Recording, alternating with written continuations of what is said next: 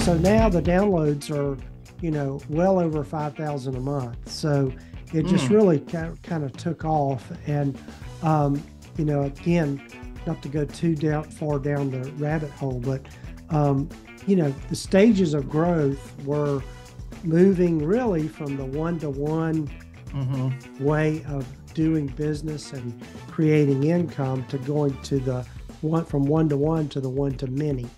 Mm-hmm. And so with, with podcasting, there's a lot of opportunity to to um, monetize the podcast and then also um, create other sidelines that are with that. So I created, you know, as I mentioned, the Google Workspace for Therapists course. Mm-hmm.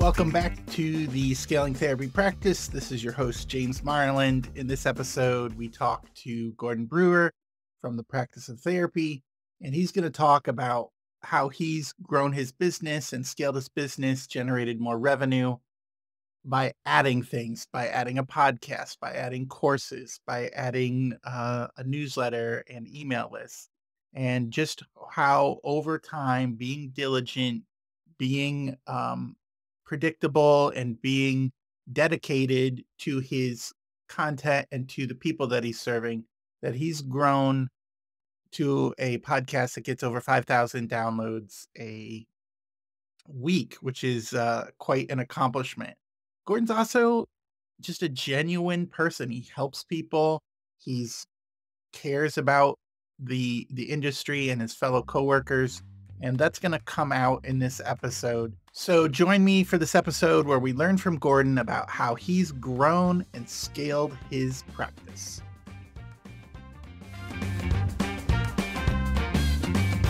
Welcome to the Scaling Therapy Practice. This is James Marland. I am so glad that you joined us. I'm here today with a special guest, Gordon Brewer from the Practice of Therapy. Hello, Gordon. Hi, James. Uh, probably a lot of people know you, but why don't you give yourself uh, an introduction? Sure. Well, thanks for having me, James. I'm real excited uh, about this and and uh, the fact that you've got this podcast because I think it's it's a much needed topic. Oh, thank um, you. For the folks that yeah, so for folks that might not know me, I'm Gordon Brewer. I'm a licensed marriage and family therapist. I'm have a private practice in Kingsport, Tennessee um, which is the northeast corner of Tennessee. Um, Kingsport Counseling Associates. It's a small group practice. Um, when I say small, I usually think of a practice that has 10 or less clinicians as being mm-hmm. more on the small side. But anyway, um, I've got that. Been been in private practice for oh gosh, since 2006 or so. Uh, the group practice since 2014.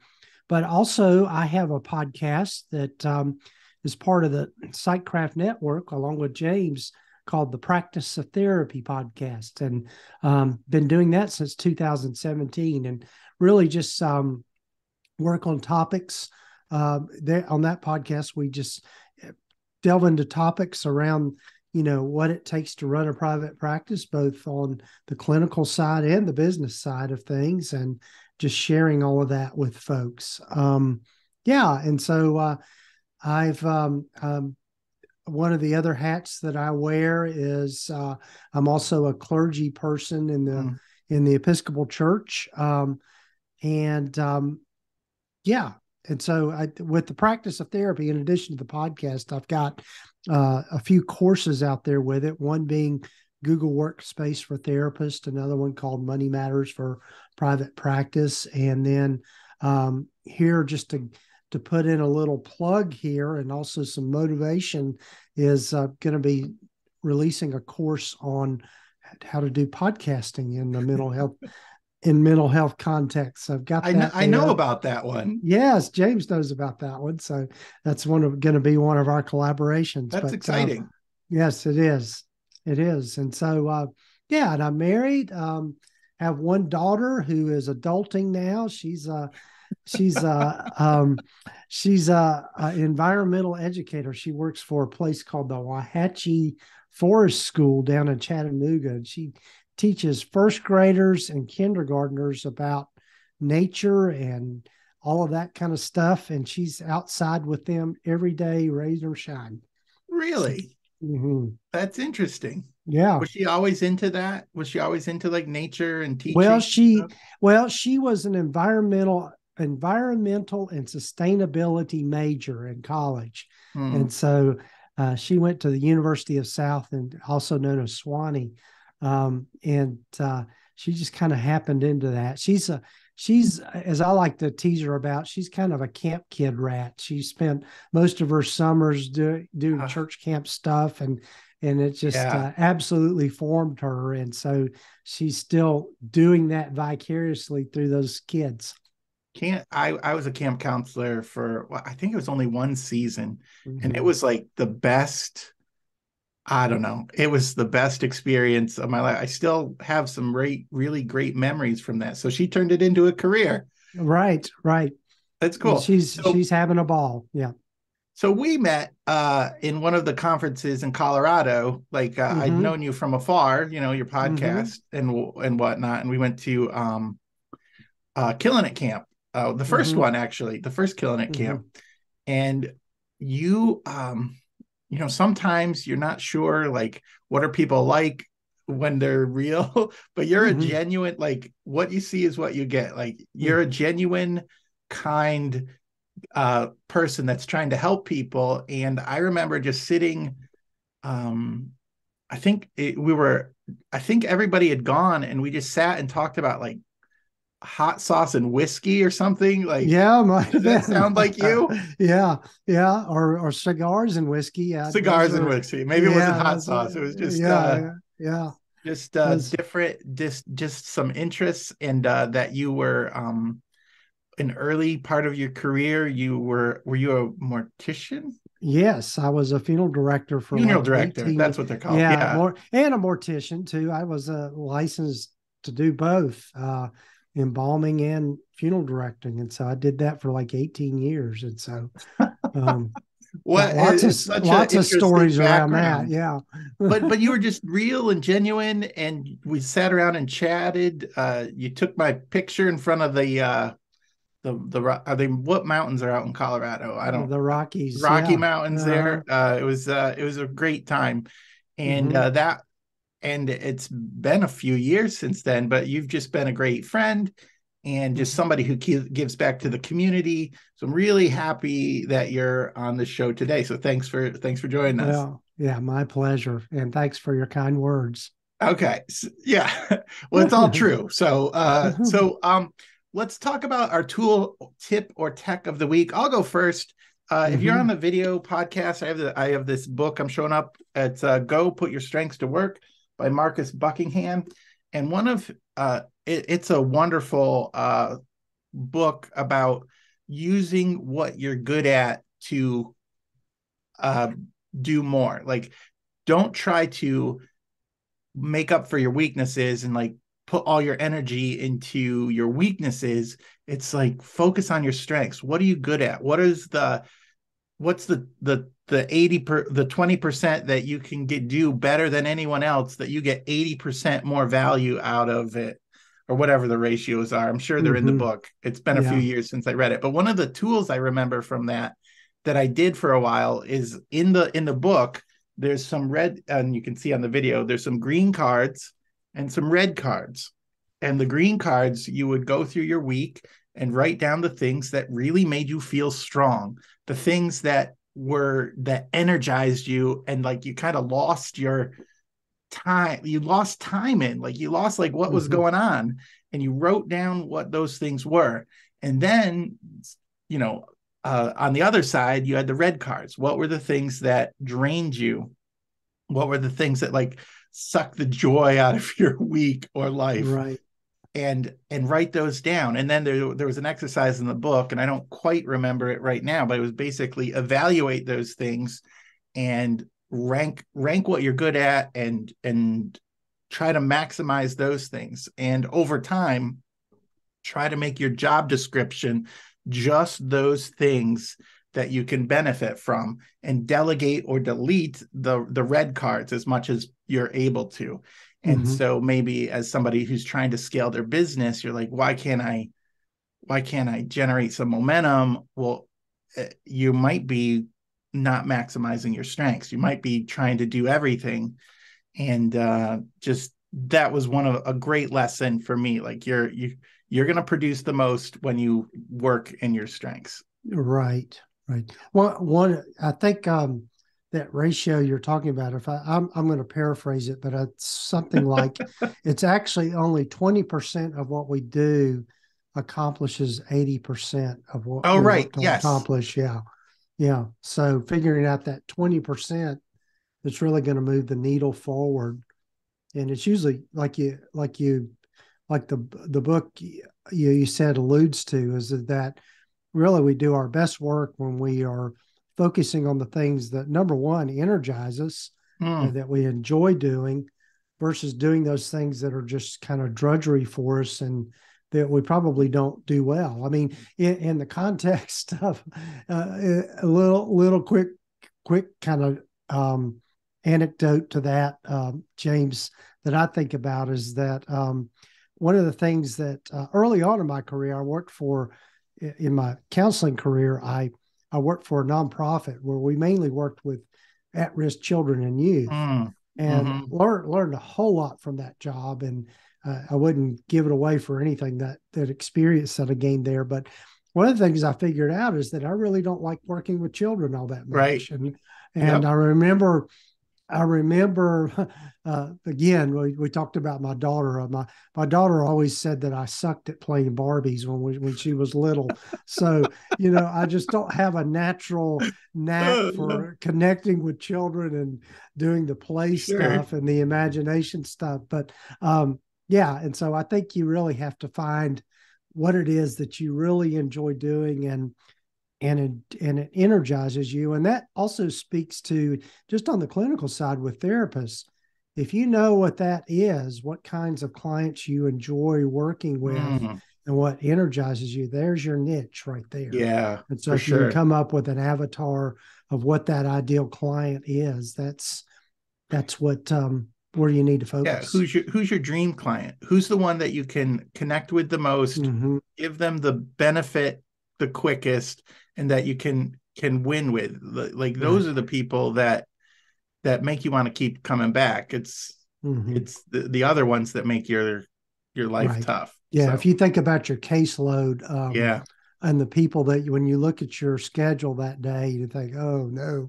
you know, those. Uh, uh, that's those a red your, card. That's yeah, those are your red, red card, card, clients. Yeah, your red card you know, clients there, there's people that you love to take their calls from because you you just take their calls, and then there's other people you see their number show up, and you're just like, oh, n- not again. Like they're the mm-hmm. drainers. That's mm-hmm. that maybe that's a maybe that's a way to adapt that uh the go put your strengths to work thing is mm-hmm. use red privately mm-hmm. use right. red and green cards or just a check you know a check mm-hmm. system for who are your preferred clients and try to maximize that. That's a great that's a great uh angle for mm-hmm. for therapists. So yeah. uh great. Well, what's your uh tool or tip or tech of the week? Yeah, so um folks that have known me or whatever know that I I love using Google Workspace and mm-hmm. um you know, I think one of the things that um really kind of the the thing that I love about Google Workspace is it's so versatile. Uh, and there are there are some there are some people, quite a few people, as a matter of fact, I've when I created the course Google Workspace for Therapists, um, a few years later, I thought, well, I'm going to start a Facebook group. Well, that uh, the Facebook group I kind of started probably around 2019, something like that, and um, then COVID hit, and that group just exploded and there's right. like over 9000 members in that facebook group now. Um, just sharing tips on how they're using google workspace and um, you know how they're using them in their practice.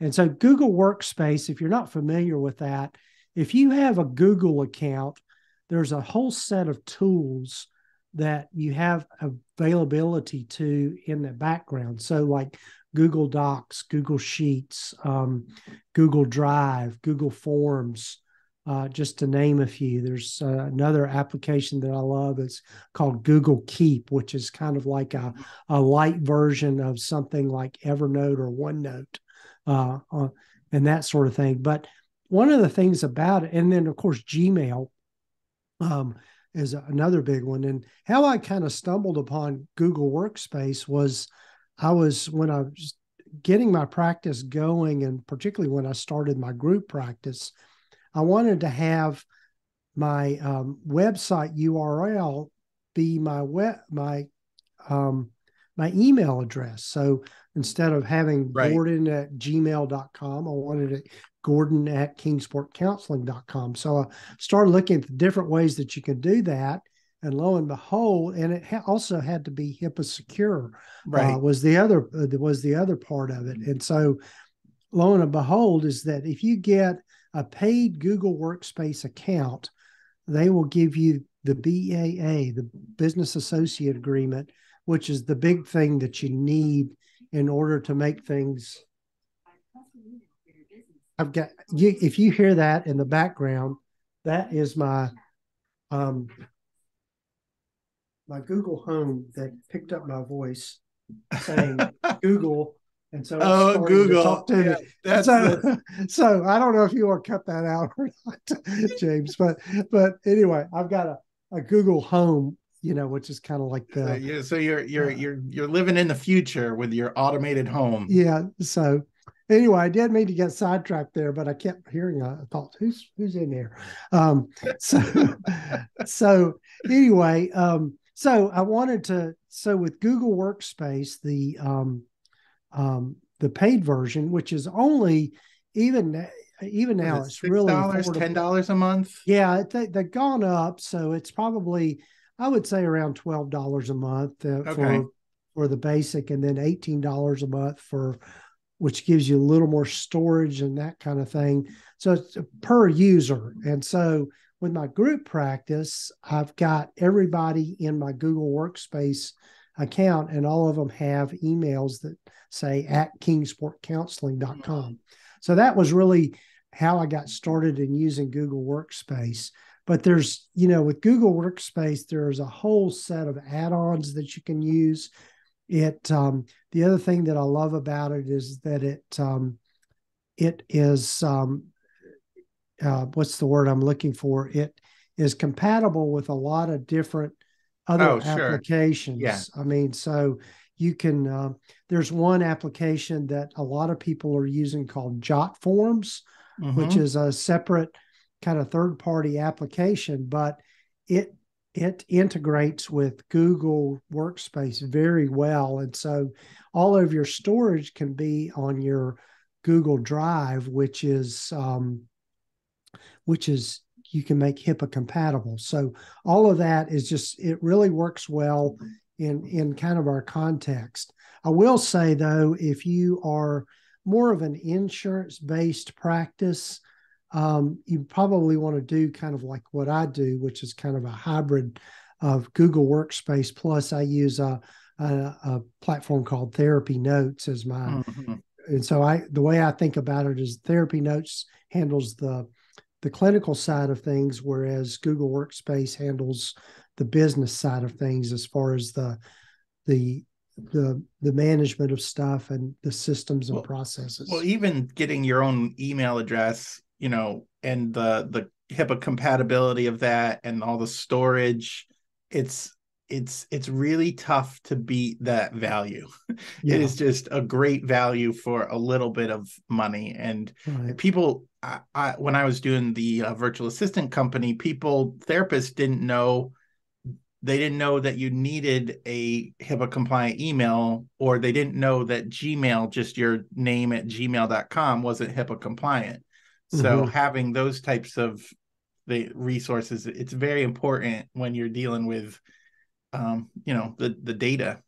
Right, right, Great. and and you have to the the one thing I will say here is, is that um, the Gmail the Gmail with Google Workspace just right out of the box is not necessarily HIPAA secure or HIPAA compliant. Right. And not to go too far into the tech, James, but you have to recognize the difference between data at rest versus data in transit. And so if you're sending an email from somebody from yourself, which most email major ones use this thing called TLS, which is uh, transport layer security encryption, mm-hmm. um, um, which is it, most of them use that. But if somebody else doesn't have that, technically that is not a secure mm-hmm. thing. So uh, a lot of people will get a third party um, application. Uh, two that I'm um, familiar with is Virtru is one, and then there's another one called Paubox, which provide true end-to-end encryption. So if somebody were to somehow or another snag the email in transit, um, a person couldn't read it. So been a lot of debate about that aspect of it on the Facebook group. Um, I've got my opinions oh, about so, that. So, so um, if somebody wanted to follow up on this conversation, they could ask the question in your Facebook group. What what right. was that group called again? It's just uh it's just called the Google Workspace for Therapists. Okay. Um Facebook group. Yeah, I, I belong to it. I've asked a couple questions and and just follow it for mm-hmm. for general information because there's people asking yeah. questions you don't think about until you see mm-hmm. it and you're like, "Oh, you know, that that's a great question." So it's a yeah. it's a great resource, a, a good good thing to belong to. Right. And that there are people that, particularly a lot of people that have just cash based, uh, cash based practices. In other words, they're not dealing with right. third party payers like insurance, that they just use that exclusively for their Google Workspace for their electronic health records uh, system. Um, because again, like Google Calendar, again, that's another really powerful mm-hmm. tool there. Handle all their appointments there and uh, you can send reminders to people and all of that kind of stuff uh, through through that application. So a lot of different uses there. And the course I put together just really kind of goes through each one of the kind of applications available in Google Workspace and tells the different ways that you can use them in the context of a private practice. Cool. Yeah. Well, let's get into the main part of our mm-hmm. interview. Uh, we're, you I want to hear your story of maybe you can start of where you are now, like what mm-hmm. what your where your practice is now, and then tell about some of the obstacles you faced going through. So just where are you now and where did you start and what were some of the obstacles? Yes. Well, that's good good um great question. Uh, where I am now, as I mentioned, I have a, I'm the owner of Kingsport Counseling Associates, in Kingsport, Tennessee, northeast corner of Tennessee, and uh, it's a small group practice. I have six uh, six other clinicians working for me. I still see clients on a limited basis, and then also we have one admin person that works part time mm-hmm. with us here, handles the the intakes and the phone calls and the insurance and billing and all of that kind of stuff. But um, yeah, so that when I first started, I really started into private practice just part time. I was still working for the agency I'd been with and was just seeing clients on, you know, on on in even on evenings and weekends. Um, in the context of my church, I started a, a counseling ministry at my church, and um, is that so something? Seeing, is that something they asked for? Is that something you saw the need of? Like, how did I you? saw I saw the need of it, and also it was kind of it kind of was a, a gateway for my kind of desire into going into into private practice full time. And at that time, I was actually thinking of um, really starting a full nonprofit, um, mm-hmm. you know, counseling center. And so I started looking into that and started you know really kind of thinking about okay why would i want to do that what what is it that i'm looking for with that part of it is is that i wanted it to be you know there's this idea that if something's nonprofit it's it's better you know is more more caring or more mm-hmm. um philant- what's the word i'm looking more philanthropic mm-hmm. all of that mm-hmm. sort of thing but you know ultimately i just wanted to provide care to people um, and I don't think that most people would care whether it's a nonprofit or not within the context of this. So made the decision to kind of go the for-profit route. Okay. Um, and so I was seeing clients within the church context. I was using some office space at the church at the time to see folks and was paying them uh, a donation, so to speak, to use the office space.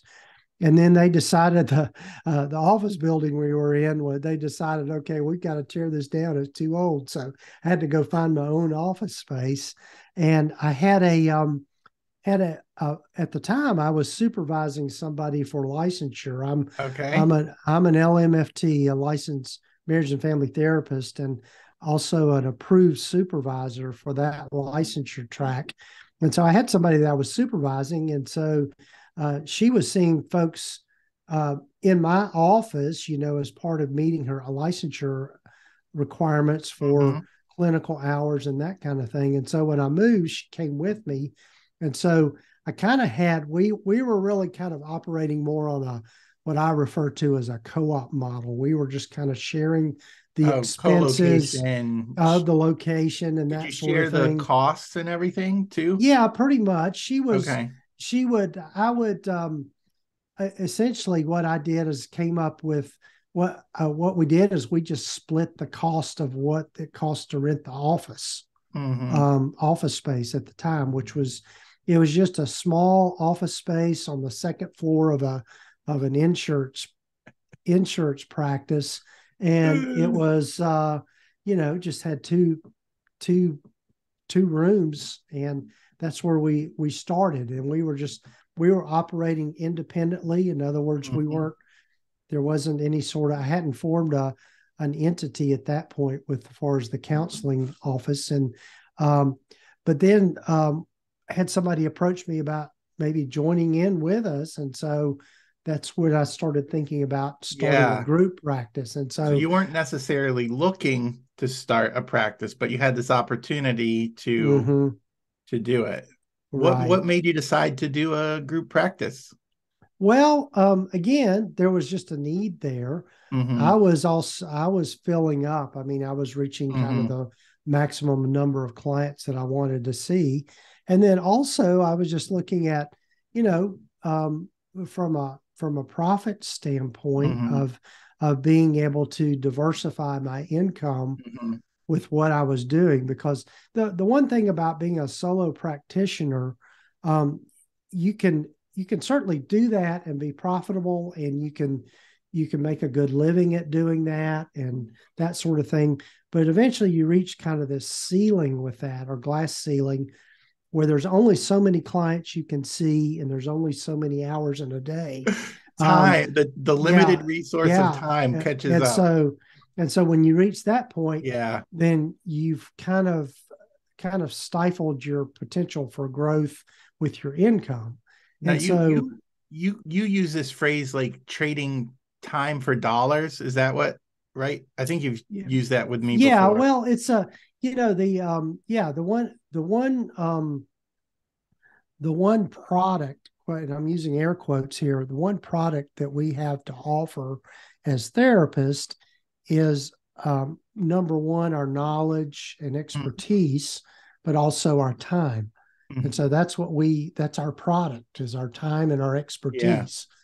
And so, in a one-to-one model where you're doing traditional therapy, time for dollars, yeah, yeah, and so, um, and there's a limit to that. I mean, there's yeah. like I said, there's only so many hours in a day, and only so many clients you can take on, and, and so, emotionally too. Like, yes, you, I I only did intakes. Like in my therapy career, I was just listening to people's problems, writing them down.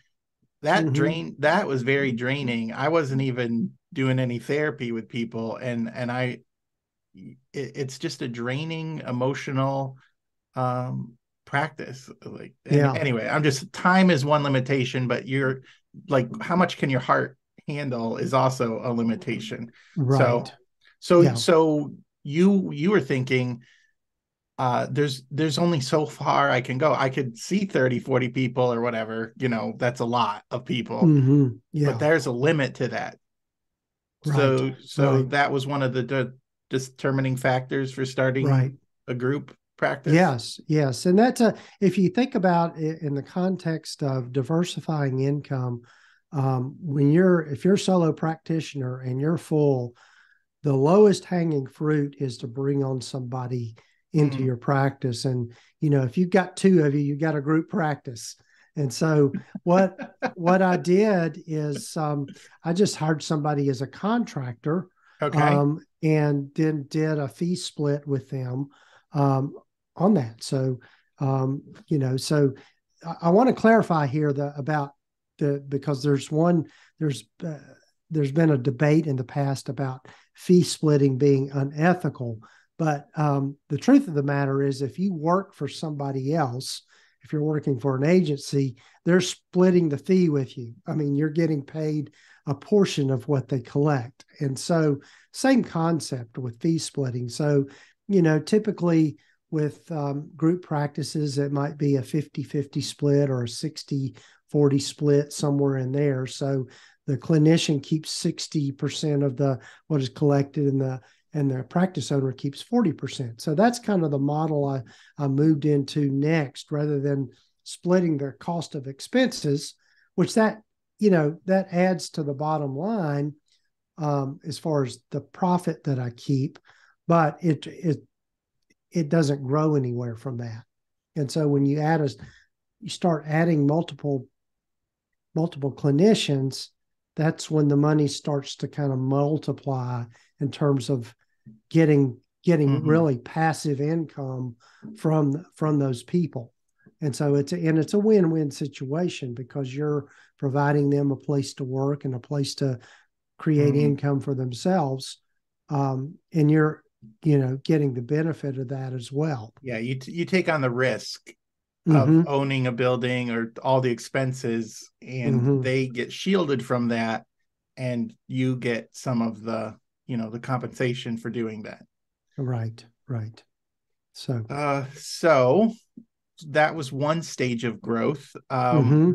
do you have another uh stage where you scaled? Yeah so yeah um you know one of the things that happened uh, around that time when i was starting my group practice i realized that okay i understand the concept but i really don't quite grasp all the the ins and outs and particularly the financial side of things and the business mm. side of things mm-hmm. of really knowing that you know as mental health providers or clinicians we get worlds of great training on the clinical side of things but there are there are little there is little yeah. to none uh, training on the business side the business, of things sure yeah. So I started I started listening to some podcasts. Just there were starting starting to be some some podcasts that were out there. Um, kind of a shout out to Melvin Varghese selling the couch, and mm-hmm. there was practice of the practice. Joe Sanok was mm-hmm. out there, that sort of thing. And I was listening to their podcasts, and I was just getting a lot of information. And I'm thinking, okay, I know a lot of this stuff. I mean, I learned a lot from from those podcasts, but I know a lot of this stuff. I'd like to share this as well with what I've learned. And mm-hmm. so that's when I started the practice of the practice.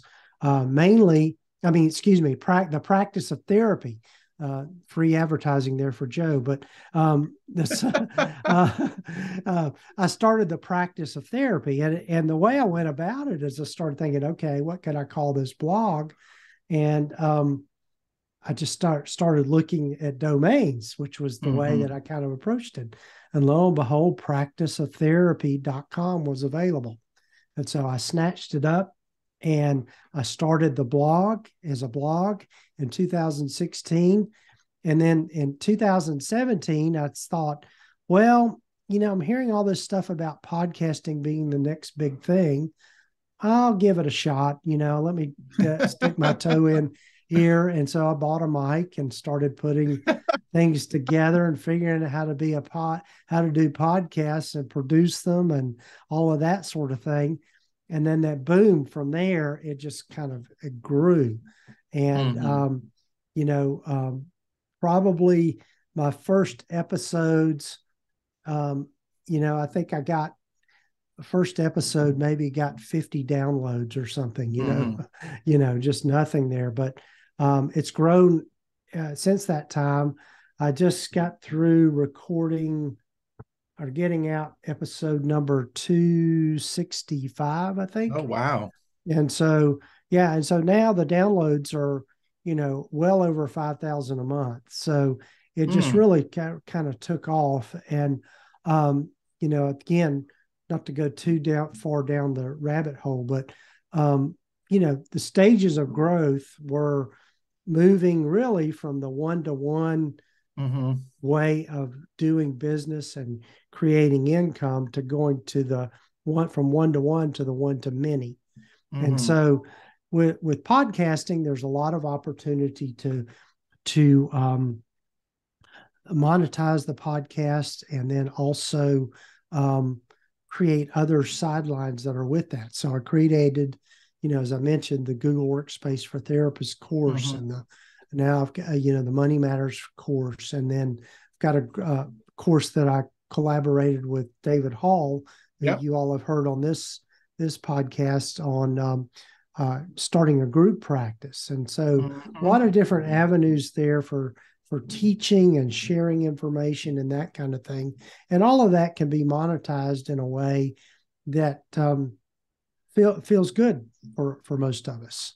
Mm-hmm yeah a lot of a lot of the um some podcasting you do some affiliate marketing where mm-hmm. you talk about somebody else's product and if they buy it you get a piece if they don't buy it it's not you know nothing happens right. but when you have an audience there's there's ways to reach out to people and i think you know you're creating the um psycraft network with the community of people that are mm-hmm. kind of like similar interests talking about the same yes. things mm-hmm. like willing to help each other. Like the community is a really good community. I mean, I'm a part of it, so you know, take that mm-hmm. for what it's worth. But there, yeah. there's been a lot of generous people in the Psycraft network, you know, helping each other, promoting each other, and that just mm, just is a, a oh another way to grow your audience and increase your impact, which also increases your income. So yeah, it it yeah, so you're you're branching out a little bit and you seem to be sort of the i'm going to try it and see if it works kind of person mm-hmm. is that sort of like one of the yeah that that would be that, that you have? true. I mean it's kind of like uh, uh, one of one of the lines I use a lot is I'm going to build the airplane as I fly it, and so which doesn't sound it sounds kind of risky, but uh, yeah, but that's uh, that's how we learn anything. I think we we have to be willing to make mistakes and, mm. and learn from our mistakes. Um, but I think it's putting things into action is the big thing. And I, the other thing I would say about any of this stuff, whether it's going into private practice, starting a podcast, or doing creating courses or mm-hmm. any of that, is you have to be, as I like to say, persistent and consistent with what you do. You have to just kind of keep at it. And mm-hmm. I think um, you know, over time with with persistency and consistency, things will grow. Um, mm-hmm. and, and, then also being able to listen to others. I mean, being able to um, kind of validate from your audience or from people that are involved. Okay, is this a good idea or not? Or is this something that resonates with you or or not? And so being able to think about things in that way. Yeah, that mindset is is really critical. Can you imagine if you had like a, a, a negative mindset when you just got 50 downloads or something? Mm-hmm. Like you'd be ready to quit. Like right. Like like that's that's like, oh, I put all this work into it. I bought this fancy microphone, you know, mm-hmm. and now and now nothing happened. I mean, could you imagine? So let's let one of the questions I wanted to ask you kind of relates to this. What what do you wish you knew? What do you wish you knew now? Or back then, what do you wish you knew when you were started? Yeah. What well, I think one of the things well, there's lots of things I wish I had known, but um yeah, but I think as much as anything, I think um being able to get away from kind of an imposter syndrome mm-hmm. uh, to some mm-hmm. degree, mm-hmm. um, of being able to have a little more self, you know, confidence in what I'm doing, and that um, really it's about it's really about connecting with people, which you know, for those of us in the mental health field, that's yeah. what we do is we connect with people. And so being able to to really have more confidence in in my ability to do that. And I think too, um, the other thing too is that I think a lot of times people have this idea that well somebody else is doing that. I, it's not an original idea.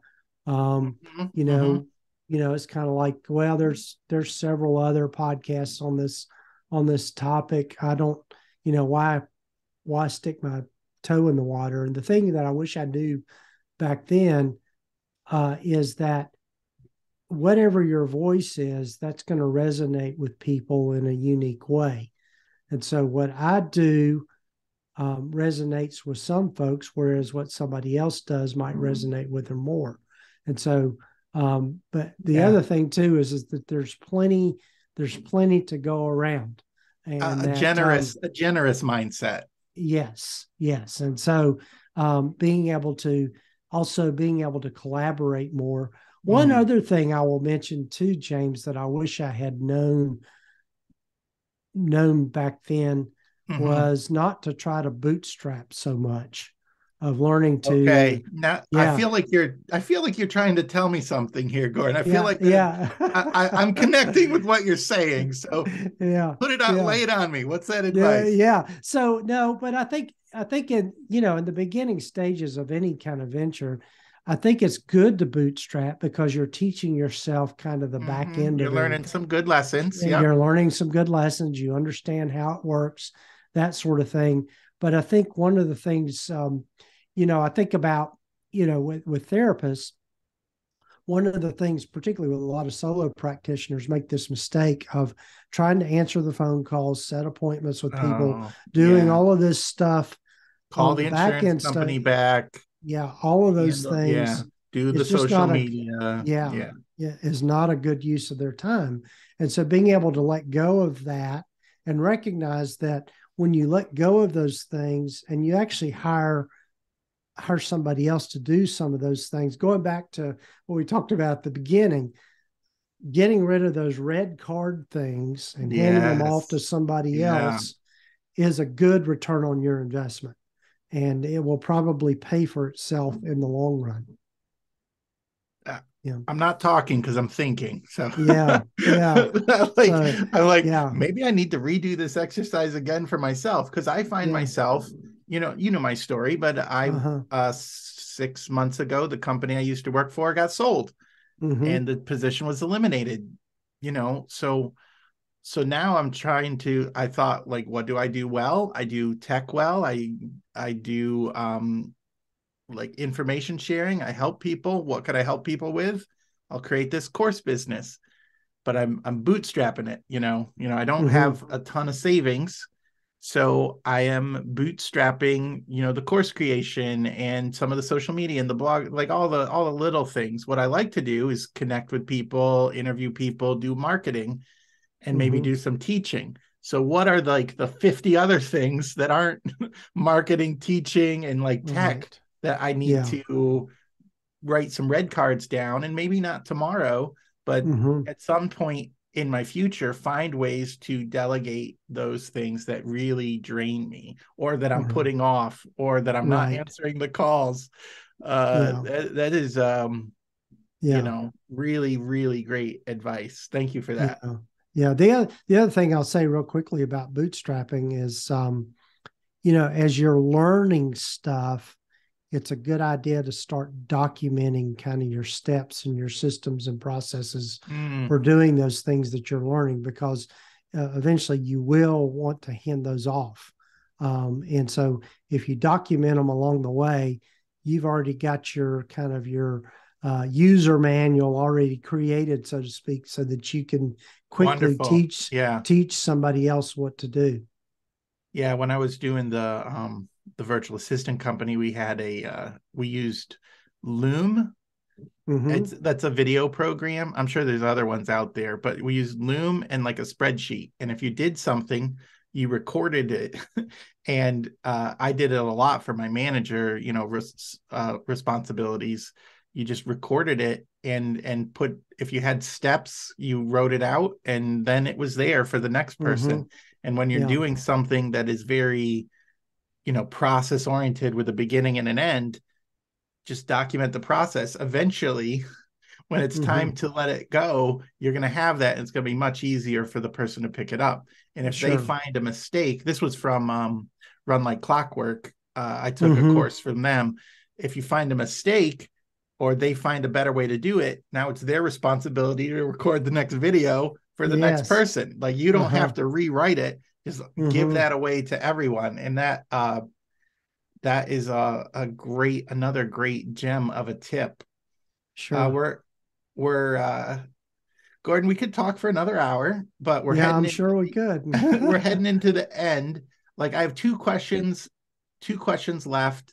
Uh you you maybe you can combine them one is how do you use your story now to help your your your clients? And uh, two is what are solutions you're offering now to help your customers scale? So maybe you can kind of smash that into one question but uh, what's your story and how are you helping people now you know is yeah. might be a good question for you. Yeah so what one one of the things that i i learned along the way again and this is kind of goes back to the other question is not to do too much of it all, alone. I think you need to mm. have mentors and you need to mm-hmm. have a community of people around you that can support you along the way. And and also people you can bounce ideas off of. I think one of the most important things i think is a for and i would say this is true of any business owner is to have a group of trusted colleagues that you can mm. in some ways confide in and be able to share ideas and learn from them and they can learn from you and that sort of thing um, is is something that I think is just invaluable. And every time I've gotten involved with like something like a mastermind group or focus groups, that kind mm-hmm. of thing, it has actually projected me far forward faster by doing those things and awesome. and having people that you can be accountable to through all of that. And so, yeah. So yeah, that, knowledge that was, doesn't always change you, but support and accountability does. Right. And so that was really, um, you know, part of my um, kind of my impetus, I guess that's the correct word, of um, starting the Psycraft Network, of which mm-hmm. James is a part of, of really just being able to share ideas, cross promote, being able to um, learn from each other uh, in the context of a community. Mm. Uh, because I think one of the things that we learned from COVID, if nothing else, is that community is important and that to be isolated too long is just detrimental to us all yeah.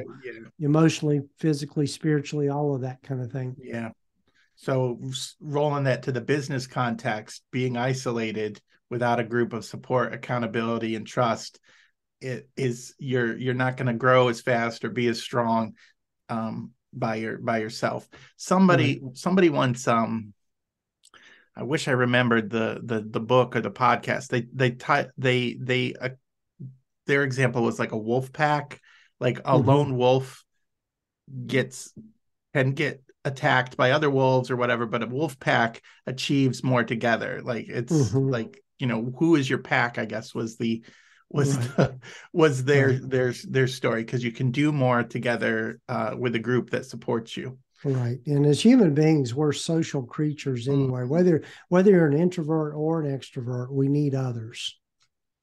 Great. Well, that's a good place to to end a little bit. Um, where can people before I ask the one thing that you want people to know uh, or remember, where can people find you and what is something you're offering? Yes. So they can come to just my website, practiceoftherapy.com and I've got tons of great resources on there. I've really kind of build it, continue to build that out. I do, if somebody's in those beginning stages of uh, going into private practice, I've got a private practice startup guide. You'll see mm-hmm. plenty of links there on the page. And um, yeah, if you go to my resources tab um, or button there, you can get see all the th- different things that I offer and uh, the things that are available for for people. And then you can always reach out to me, email me at gordon at practiceoftherapy.com. And what's your uh do you know off the top of your head if they sign up for your newsletter, what's the freebie that they get? Yes, they get the get the well, it depends on which way they do which it. freebie. Lots, yeah, yeah. So there's lots of different ways to do that depending on your interest. Like I've got several kind of PDF downloads. Like I've got a a Google a Google Workspace hacks sheet okay. that they can get. Cool. That um, sounds useful. I, I, would say here here would be a good thing for people to do the a free talk about a freebie. I've got several free webinars that are automated. Mm-hmm and they can just simply go to practiceoftherapy.com slash webinars and so you got some free training right up free training in there practice of uh, therapy slash webinars okay yeah all right so what's the one thing that you want people to remember from this episode oh wow i would say um being being willing to to some degree take a risk mm. be willing to build the airplane as you fly it. Um, and I would say be persistent and consistent with what you do, and um, and do it in small steps. Mm-hmm. Um, you don't have to do the huge big things, but the small steps add up over time. Um, and get going going back to my the the podcasting thing. My my job when I started that podcast was I told myself I'm just going to get it out every week mm-hmm. and um, do what I need to do to do that. And that was my only goal with it is to get it out consistently.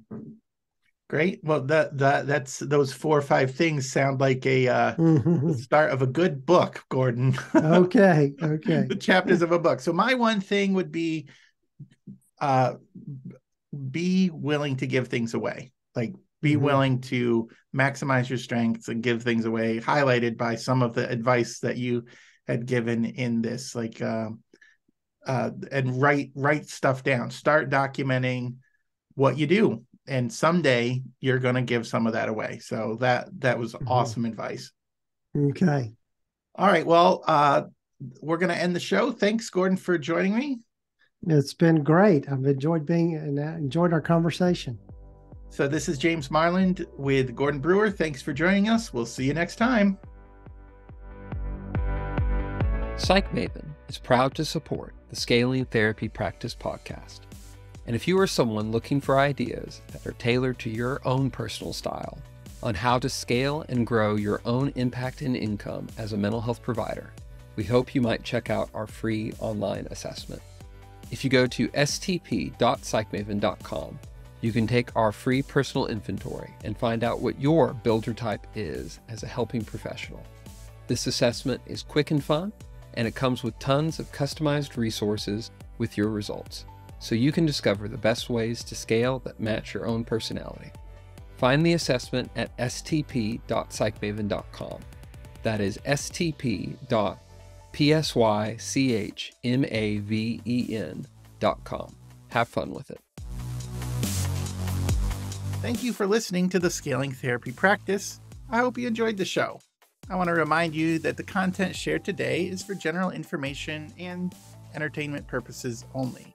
It shouldn't be considered as legal or tax advice. If you need a professional advice in those areas, please consult with a licensed attorney or accountant. But thank you so much for listening. The Scaling Therapy Practice is part of the Psycraft Network.